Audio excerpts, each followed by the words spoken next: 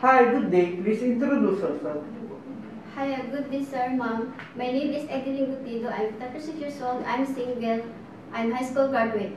Why do you want to work in Hong Kong? I want to work in Hong Kong for my needs of my family and earn to my future. Do you have working experience abroad as a domestic helper? Yes, sir, ma'am. I have experienced two years in Saudi Arabia.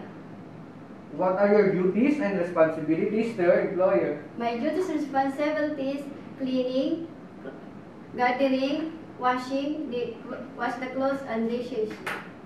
Did you take care of baby, child, or elderly? Yes, sir. I took the baby, newborn, and childish ages. Can you tell us how can you take care of a baby? I take care of the baby, bathing, feeding, changing diaper, and watch the battle of the stylism. What are the tra- uh, aside from taking care of a baby, what is your skills? My skills is ironing, washing, wash the dishes, and cleaning. What are the traits necessary to be a good domestic helper?